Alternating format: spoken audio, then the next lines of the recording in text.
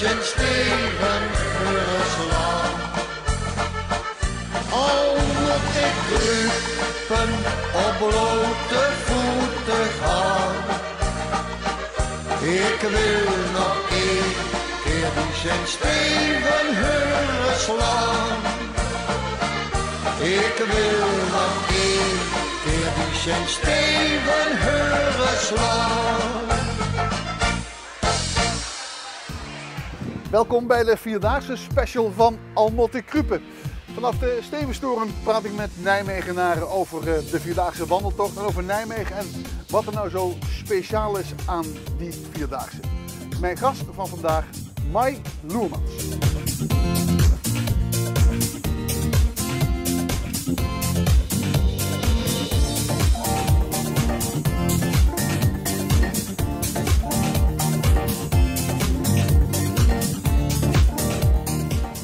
Welkom op de Sint-Stevens. Goedemiddag. Ja, eerste keer? Tweede keer. Tweede keer. Hoe Ja. lang is het geleden? Ja, 20 jaar zeker. Dat is lang geleden.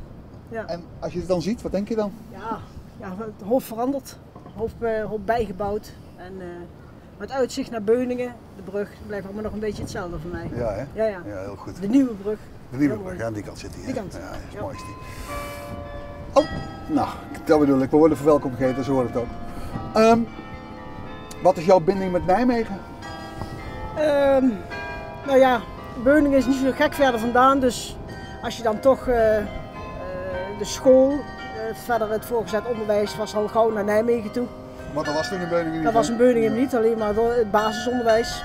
En ehm, ja, het uitgaan vroeger wordt nou je iets naartoe? minder. Waar ging je naartoe?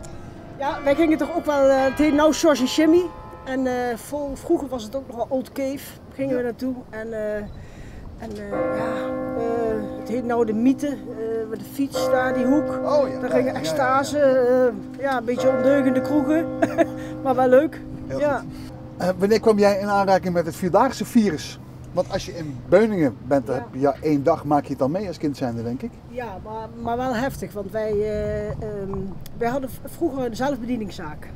En wij hadden een hele grote tuin daaromheen en eh, een, eh, iemand van de luchtmachtbasis, die had daar de leiding over de, over de militairen en hij wilde daar graag ook een rustplaats hebben.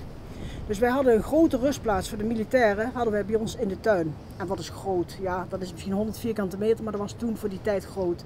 En toen was ik zelf nog maar 5, 6 jaar oud, toen kwam het al langs ons op. En toen kriebelde het al. Niet om te zeggen van ik ga lopen, maar dit sfeertje heeft altijd wel een beetje bij me gezeten. Altijd wel mooi. Hoe was dat dan als klein meisje, die militairen? En, Ja, je kon natuurlijk heel veel, eh, heel veel souvenirs krijgen. Hè? Want ja, ik was natuurlijk, ik had wel bevoorrecht was ik. Want ik, ja, ik liep door de tuin en ik had mijn bakje en daar ging alles gewoon in. En eh, ja, niemand anders had het natuurlijk. Die kon langs de weg gaan staan, maar ik kreeg het gewoon van de jongens zelf. En dat was leuk. Ik, eh, ja, het, koffie mee helpen te zetten en het verzorgen een beetje. Ja, hoe klein je ook was, maar je moest altijd meehelpen thuis. Je moest altijd werd je betrokken bij het geheel. En op welk moment besluit je dan om te gaan meelopen? Nou, eh, een, een, een goede vrienden van mijn ouders, die man die, die had zoveel gelopen in zijn leven al. En die woonde in Ouddorp bij Alkmaar. En hij heeft mij ooit zijn kast laten zien met al zijn me- medailles en zijn onderscheidingen. Van, van alle marsen die hij liep. En hij had meer als, een, als, als de halve aarde rondgelopen al in zijn hele leven. En dat, dat, dat, dat, dat, maakte me indruk bij me. Ik denk, nou, dat ga, dat, ik wil ook wel een keer dan gaan lopen. Nou, die vierdaagse kwam, hij zei, loop een keer mee eerste keer zwart meegelopen, maar ik vond het verschrikkelijk leuk. De mensen eromheen en eh, de sfeer. En ik denk, ja, dit is gewoon geweldig. Dit, dit moet Hoe oud was je toen? Toen was ik 17, 17 of 18. Moest je ervoor trainen? Nooit, Nooit? nooit. Nee, ik heb eh, inmiddels 20 keer gelopen, met een aantal jaren ertussen. Waarbij ik ook lekker de stad in ga, want dat vind ik ook wel weer een keer leuk. En, eh, en een gezinsleven uitgebreid, dus dan kun je ook niet lopen. Inmiddels eh 20 keer gelopen en ja, ik, eh, ik, ik, ik geniet me, ik ga me volle teu. Twintig keer gelopen zonder te trainen. Oh, zonder te trainen, dat was eigenlijk, ja, Ja. klopt, dat was de vraag. Ja. Nee, nooit. Ik, eh, omdat ik altijd veel gesport heb. En, eh, en, en, en ja, heb ik eigenlijk altijd gedacht van, weet je, ga, ik zie dat de mensen wel eens trainen, lopen er in een eentje met, met een zakje op en een flesje water. Ik denk, god, die zijn al 40 kilometer aan het trainen, verschrikkelijk. Ik, ik heb een druk leven, ik, ik, ik werk veel en eh, je had je gezin thuis. En Nee, dat, dat trainen, daar, daar ging veel te veel tijd in zitten. Dus een drukke vrouw kan die Vierdaagse lopen zonder te trainen. Ja, ik zou niet iedereen adviseren, maar mij lukte het wel. Ja. En ga je dit jaar weer? Nou, vorig jaar hadden we dus de, de 100ste Vierdaagse.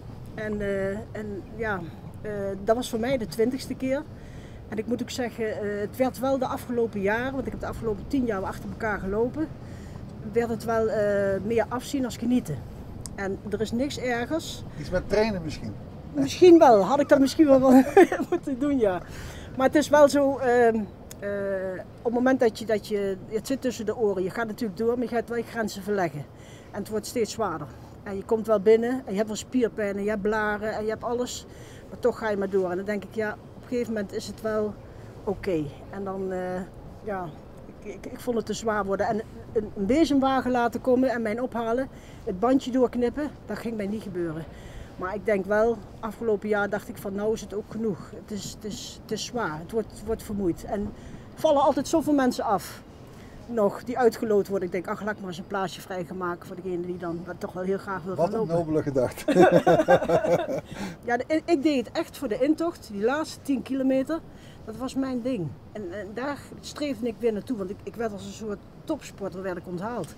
En dan liep ik daar en dan eh, begon iedereen te klappen voor me en denk, moet je eens kijken of ik Je gepresteerd heb. kunt ook gewoon alleen de laatste 10 kilometer gewoon een paar wandelschoenen aantrekken en denken, nou weet je. Ja, dat hè? klopt. Maar dan eh, krijg je toch niet die medaille. En dat is toch wel, wel, wel mijn beloning voor eh, die vier dagen presteren. Die is belangrijk. Ja, vind ik belangrijk. Ja? Ja? Ja, vind ik heel belangrijk. Is er dit jaar een die krijgt de 70ste? Vind ik knap. Zover kom ik niet. Nee, Nee, gaat het niet worden. nee, ga je niet redden. Nee, dat ga ik niet redden. Nee, ook niet met 30 Nee, kilometer. nee dan, moet je, dan moet je nog 50 doen vanaf nu. Nee, dat gaat niet nee, worden, dat dat wordt gaat lastig. niet worden. Nee, nee. Die intocht, want dat, is dan, zeg, wat, dat was jouw ding? Ja, dat was, ja dat, we hebben natuurlijk 2006 gehad met het extreme hete weer. Toen werd het één dag werd Vierdaagse gehouden. En toen werd die afgelast. En dat vond ik op zich niet zo heel erg, want ik heb best wel dingen gezien door de extreme warmte. En op de dijk bij, eh, bij Oosterbeek of Oosterhout.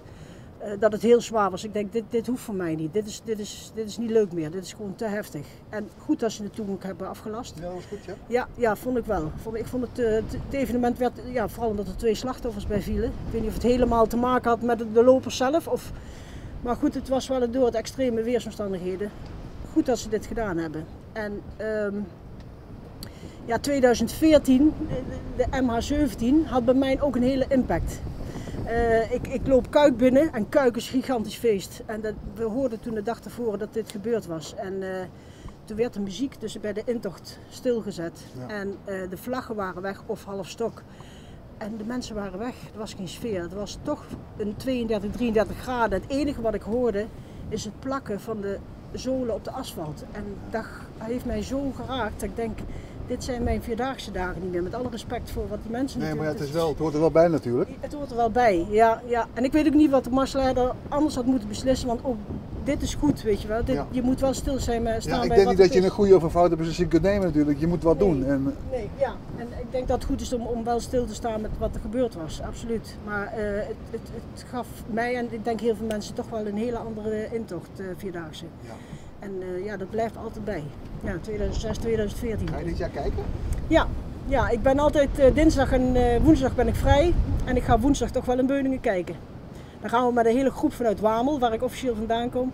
En dan gaan we, ja, dan gaan we toch wel elkaar opzoeken en, eh, en een biertje drinken. En gezellig gewoon eh, de mensen aanmoedigen. Wat zou er nou moeten veranderen aan de Vierdaagse? Je hebt hem 20 keer gelopen. Dus, nou ja, over eh, de afgelopen 20, 22 jaar, 23 jaar. Ja. Er is natuurlijk heel veel veranderd. Maar wat zou er nu nog waarvan je zegt, nou als we dat nou gewoon eens doen, dan is het bij van de zeur af?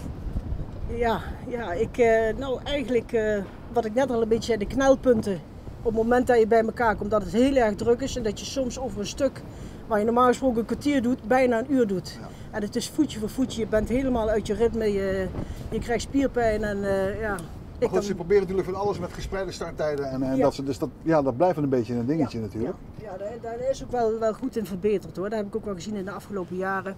Parkeergelegenheden en de, eh, in- inderdaad verschillende tijden met starten. En dat is allemaal wel, wel veel beter geworden. De scan die je dan nou hebt in de polsbandjes. Eh, Voorheen was het knippen allemaal nog.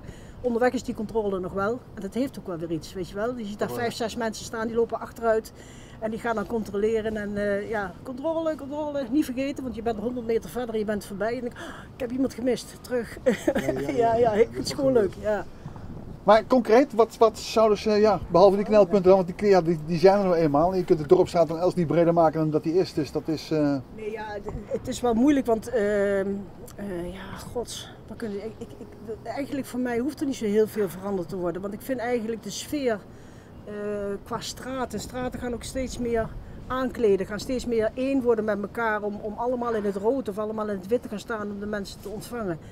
En, en, en ook daar is, hebben ze de vrijheid in. Mensen mogen gewoon, gewoon doen wat ze willen. En, en er zijn mensen, er zijn wandelaars die zeggen van nou die betouwstraat is mij allemaal veel te druk. En dat, Geweldig, ja. Ja, ik vind, ik vind die roze woensdag, ik vind, ja, ik vind het gewoon iets hebben. Ja. En eh, ja, het, het is aan alle kanten aangekleed en hoe je het ook draait of keert. Je kunt alle kanten opkijken, maar overal zie je lachende mensen, overal is er feest, overal is er gezelligheid. Ja, het, we het- hebben een marsleider die zegt, eh, eh, wat mij betreft eh, komen de mensen via de Heesenstraat en de Grote Markt, zo in de Burgstraat, eh, komen ze omhoog in plaats van langs de Welkade. Nee, maar we hebben het vroeger wel eens gehad dat we dus eerder afsloegen.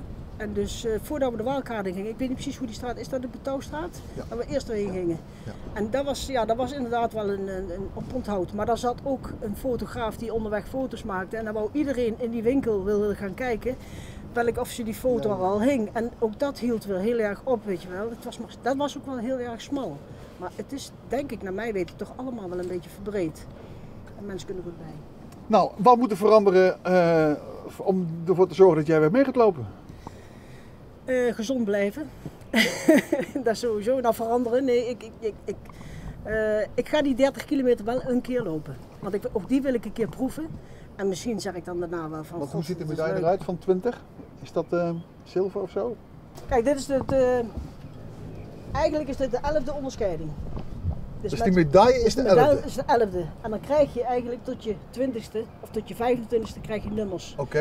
En dat is geloof ik ook weer veranderd, als ik me niet vergis. Want nu moet je eerst 49 keer lopen en dan krijg je bij de 50ste pas weer een hele nieuwe onderscheiding. Geen idee. En, wat is dat nummertje- ding dan, wat erop staat? Dat is, eh, dat is van 2006, toen is het één dag gelopen, heeft Oh, iedereen een herinnering gekregen. Oh, zit hebben we thuis gestuurd gekregen.